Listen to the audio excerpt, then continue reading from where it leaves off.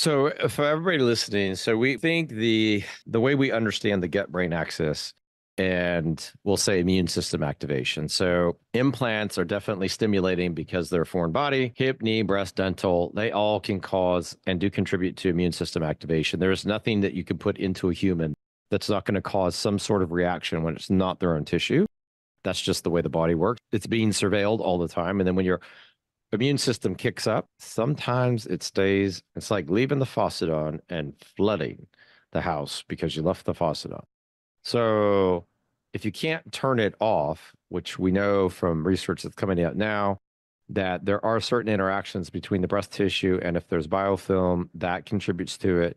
So I think more and more evidence is showing up to both validate you know your experience and my patient's experience where they have these symptoms instead of it being written off as being postpartum or having anxiety and or depression and being offered an SSRI being offered something then because you can't sleep and your cortisol levels are high, being offered Valium or whatever the sleeping drug is, because nobody really wants to be drugged up. But I feel like all my patients either get offered steroids, an antidepressant, or a sleeping pill, or all the above. Yes, I was offered, what was I offered? Anti-anxiety medication from my doctor to solve it. And that's when I was like, no, not for me. Not to say that people don't need that, but it was not for me. And so that's why I started doing cold therapy.